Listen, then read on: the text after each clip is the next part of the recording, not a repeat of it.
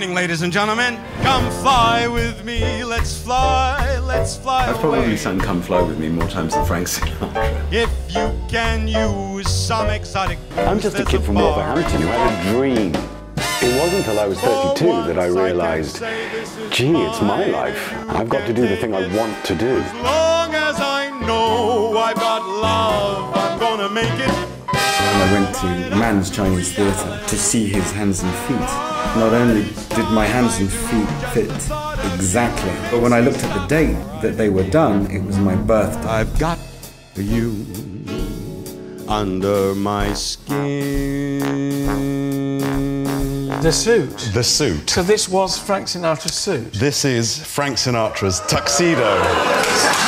You're the same size as him. Yeah, the exact dimension. I'm telling you, Frank was just nice and tight, and this guy right here, and his music's the same way.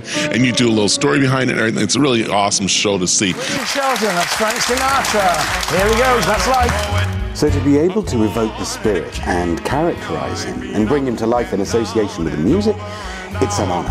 And I know one thing. so amazing. He was Frank. It's like watching the real man himself. It's the closest thing you might ever get to spending an hour with Frank Sinatra. Myself up and get a back in the race that's life.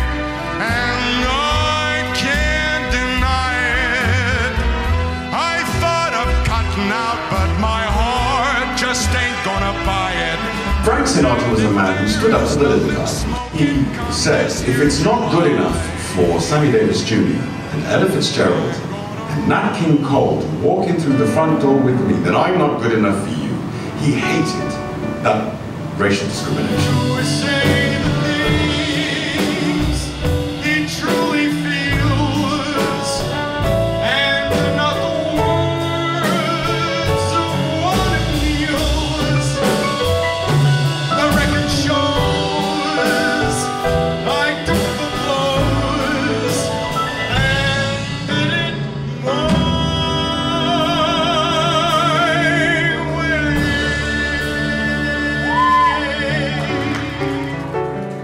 If you don't have a dream, you can never have a dream come true.